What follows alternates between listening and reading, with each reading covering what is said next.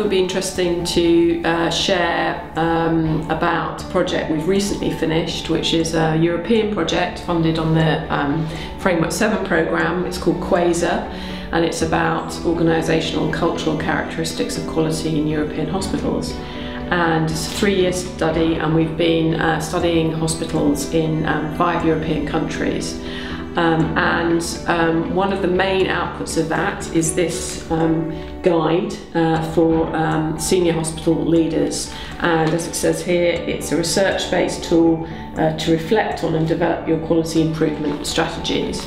Um, and the guide is, um, it's not a how-to guide, it's not a guide telling you what you must do to develop your quality improvement strategies. Um, it's about changing conversations, it's about guiding conversations uh, to develop quality improvement strategies. And it's, um, it's framed around eight challenges for quality improvement uh, that builds on previous work undertaken by Paul Bate and others, which identified six challenges, and we've added two to those. And they include um, things like physical and technological um, challenge for quality improvement, so things like um, data for quality improvement, um, IT for quality improvement, structural challenges like um, have you got a quality committee and so on, but also some of the more softer elements like the cultural challenge, the emotional challenge. And what we found in our study was there's a tendency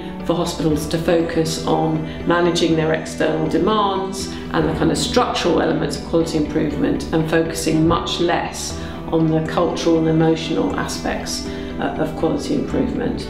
And we also found that um, there tends to be a kind of project by project approach to quality improvement, and many of those projects are very innovative, um, but there's um, much less of a kind of organisational wide approach to quality improvement in which those projects um, sit.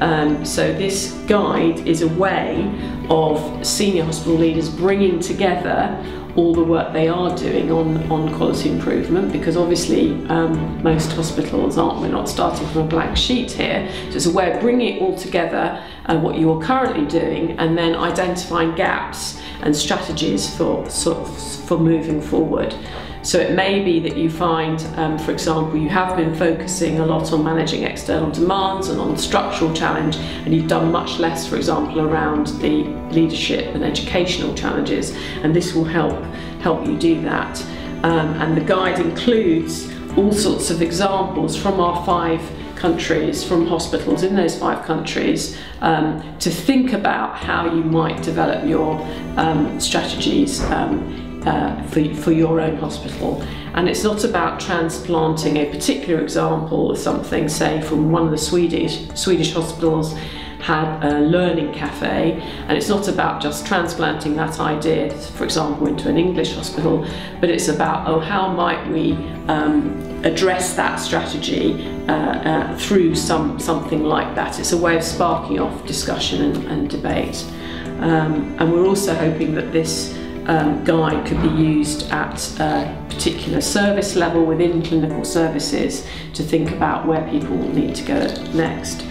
We've also produced a kind of a, sister guide, if you like, for payers, for commissioners uh, of services to help them see how well their hospitals are doing around quality improvement strategies, but also for them to reflect on their own behaviours and actions and whether or not they facilitate quality improvement uh, in hospitals.